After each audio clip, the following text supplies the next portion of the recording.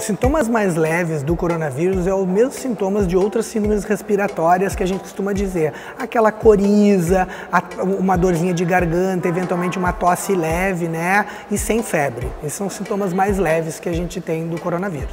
Com sintomas leves, a gente deve fazer o procedimento que a gente sempre fez a nossa vida inteira enquanto gripe. A gente deve ficar de repouso em casa, se alimentar bem, se hidratar bem, se cuidar, eventualmente algum tipo de medicação daquelas que a gente corriqueiramente usa que não requeram prescrição médica, né? Diferentemente de automedicação, certo? E ficar em casa. Se eu começar a ter algum tipo de sintomatologia de mais gravidade, como a gente falou, uma febre persistente, dificuldade de respirar, aí sim eu devo buscar um atendimento de saúde, preferencialmente em unidades básicas, no meu médico, no meu plano de saúde e evitando unidades hospitalares. O hospital é apenas para aqueles casos graves.